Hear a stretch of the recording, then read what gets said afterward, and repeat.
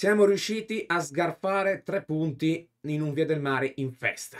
Amici di tutto Udinese e dei fuoricampo, buonasera e ben ritrovati qui con voi Davide Marchiol per commentare il ritorno alla vittoria dopo circa due mesi eh, di digiuno dell'Udinese di Cannavaro. Prima vittoria in Serie A per il tecnico napoletano. Una vittoria i cui presupposti c'erano, c'erano perché insomma concorrenti avevano perso tutte, a fronte in Lecce che non, aveva, che non, ha più nulla da chiedere al campionato perché chapeau a, a un, un'altra ottima annata dei pugliesi che con Corvino hanno costruito un'ottima rosa, con D'Aversa erano partiti bene, con Gotti ha ripreso quella maniglia che sembrava un po' persa. Ecco, mm, era un Lecce che non aveva più nulla da chiedere al campionato e in alcuni tratti anche abbastanza grossi della gara lo si è notato. Noi però, siccome di solito nelle boiate veniamo bene, non si può mai mettere le mani avanti con questa squadra, però alla fine diciamo che in un qualche modo portiamo a casa tre punti cruciali perché scavalchiamo il Frosinone, scavalchiamo l'Empoli, che sono le due squadre che affronteremo nelle ultime due giornate. Probabilmente non vincerà il mio fantacalcio perché avevo lo scontro diretto con il secondo oggi, mi serviva un gol di Pongracic per non perdere e ovviamente Pongracic non ha segnato, ma se devo perdere il fantacalcio dopo un'annata da dominatore per vedere questa squadra vincere, devo dire che perdo con molta, con molta, molto volentieri, ecco, con molto più piacere. Speriamo, ecco, di dare seguito a questi tre punti, chiudendo il discorso contro Empoli e Frosinone. Due gare che saranno tostissime perché a differenza del Lecce da, da, da, questo campionato hanno ancora tanto da chiedere perché adesso sono appaiata al terzultimo posto a quota 32 punti. C'è anche il Cagliari a questo punto che contro il Sassuolo si gioca probabilmente tantissimo del suo, del suo campionato. Una vittoria nel segno dei due giocatori forse simbolo di questa squadra, un Lucca che eh, deve giocare in, in, un mestiere, ecco, diciamo, in un sistema che c'entra poco con quelle che sono le sue caratteristiche, e un Samarzic che è stato sempre tanto criticato anche da me perché purtroppo oggettivamente non è stato decisivo come si sperava, però alla fine il gol per chiudere la contesa, almeno in questo finale di partita, lo mette, altro gol che arriva negli ultimi, negli ultimi minuti e non, che, e, e, e non lo subiamo, ecco, quindi qualche timido segnale di miglioramento c'è, io non mi, non mi inoltro in altri complimenti perché le ultime volte che ho fatto un po' più di, mi sono lanciato un po' più in là nelle cose positive, poi questa squadra mi ha regalato delle tramvate nella partita dopo clamorose, quindi calma, gesso, c'è ancora un lavoro incredibile da fare, in questa partita, ripeto, il Lecce non aveva tanto da chiedere, però nei primi 15 minuti mi sono, mi sono spaventato, mi sono spaventato perché ho visto un Lecce che, sta, che andava a tutt'altra velocità rispetto a noi, noi completamente impauriti, loro entusiasti, liberi, festosi mi verrebbe, mi verrebbe quasi da dire. Almquist quando puntava Christensen era uno spettacolo, se non tifi udinese, se tifi udinese ti veniva ogni volta da sbiancare, ma al di là del fatto che Christensen al di là del fatto di cercare di smentirmi subito su quando ho detto che Christensen stava migliorando, c'era proprio un mismatch palese in quel punto, quando questi punta Christensen, la velocità è completamente diversa e di grattacapi ne ha creati parecchi. Ma prima di inoltrarci in analisi tecnica, come sapete il nostro canale segue e copre principalmente realtà meno considerate dal punto di vista dei mass media nazionali e sfrutta la potenza dei social per, come dire, dare più visibilità a queste realtà. Udinese, tantissima Serie B, poi nelle live ovviamente ci dilunghiamo insieme a voi nei temi più caldi che riguardano le parti alte della classifica. Quindi, se non siete già iscritti, iscrivetevi, aiutateci in questo nostro sforzo. Se siete già iscritti, ricordatevi di lasciare il like e di condividere a chi ancora non ci conoscesse sezione commenti aperta per domande, curiosità, cose che ho mancato, perché come sapete faccio i video a caldo, io sulle partite ci lavoro in quanto giornalista, quindi talvolta purtroppo sono umano e qualcosa magari mi sfugge facendo tutto, tutto, una reaction a caldo in stile, in stile youtuber che però non sono.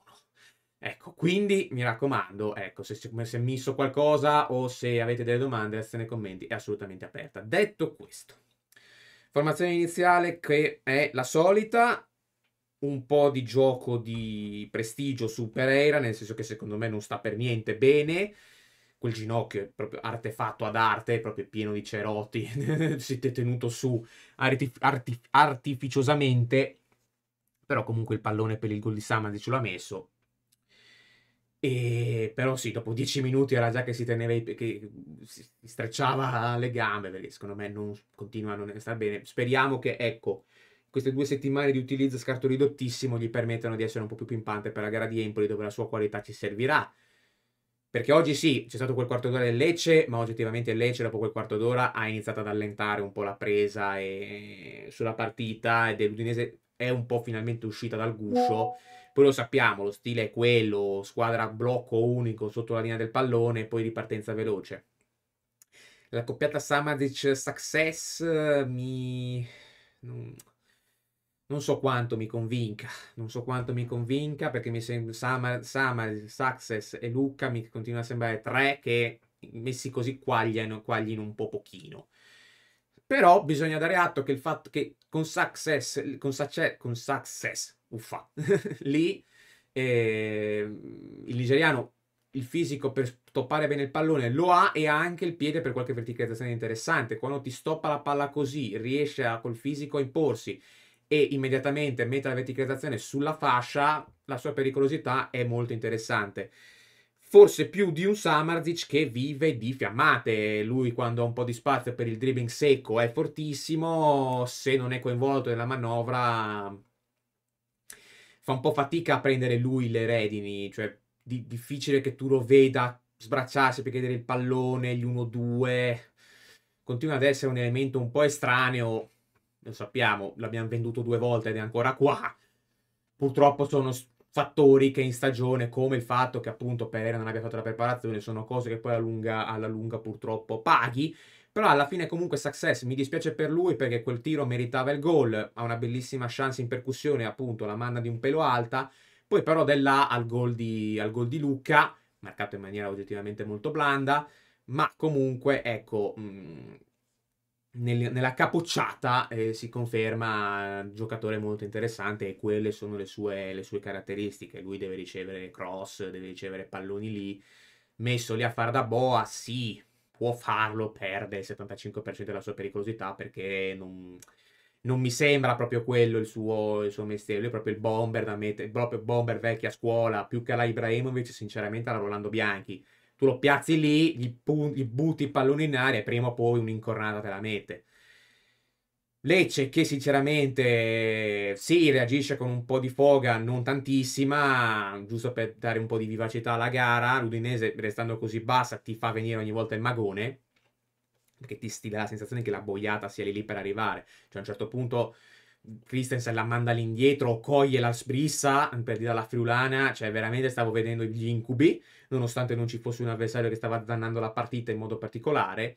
Però ecco, poi alla fine comunque eh, con una bella azione nel finale la porti a casa e esattamente come per Success mi dispiace un po' per Davis perché sto povero ragazzo sta provando in tutti i modi a segnare e ogni volta ci si mette o il portiere o la sfortuna come col palo col Bologna. Stavolta è bravissimo Falcone nella parata, su Samadic può poco, è più reattivo di tutti per Lazar.